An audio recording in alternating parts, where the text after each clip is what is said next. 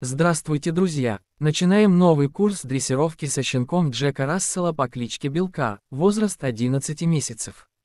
Многие владельцы собак часто спрашивают меня, можно ли дрессировать собаку определенной породы или нет. Даже владелец этого замечательного щенка рассказал мне, что он ходил к нескольким дрессировщикам, и они ему отказали, мотивируя это тем, что Джек Рассел – порода собаку, которую трудно дрессировать из-за характера и энергии, которые у них есть.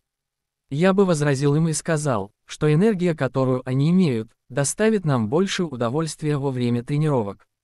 И я бы еще добавил, что жизнью любой собаки управляют рефлексы и инстинкты, поэтому любую собаку можно дрессировать, разница лишь во времени необходимом для формирования рефлексов. Для начала обучения нам понадобится 1. Подходящее оборудование для собаки, поводок, ошейник, Многие владельцы мелких пород используют шлейку на прогулках и даже во время дрессировки. Чтобы мы могли лучше корректировать собаку, я рекомендую во время дрессировки привязывать поводок к ошейнику. 2. Мы должны установить стимулы, которые нравятся собаке, которые мы будем использовать в дрессировке. Вкусная еда, любимая игрушка или будем использовать и то и другое. Белка не слишком прожорлива, зато у нее огромное желание играть. Мы можем их комбинировать, формировать с помощью игрового предмета некоторые навыки, особенно те команды, которые более энергичны, в движении или которые собака должна выполнять быстро, а для более медленных и точных команд мы будем использовать вкусную еду.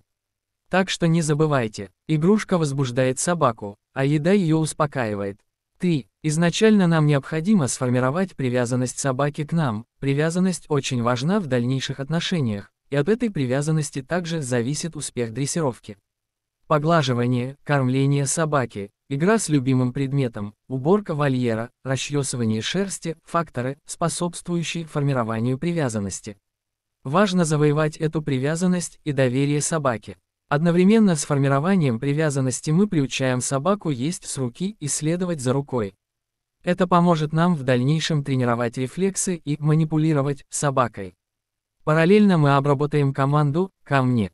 Собака, будучи на свободе, услышав команду «ко мне», должна подойти к нам.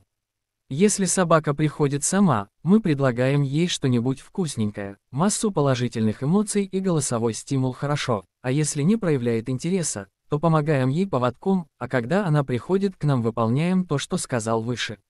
Мы должны дать понять собаке, что если она придет к нам, то получит очень вкусную награду.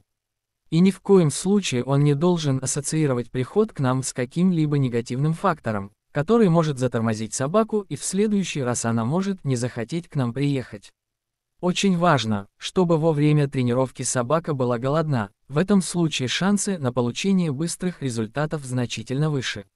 Мы будем работать над этими навыками в первые 10-15 дней дрессировки, и я вернусь с еще одним видео о дальнейшем дрессировке собаки. До скорой встречи!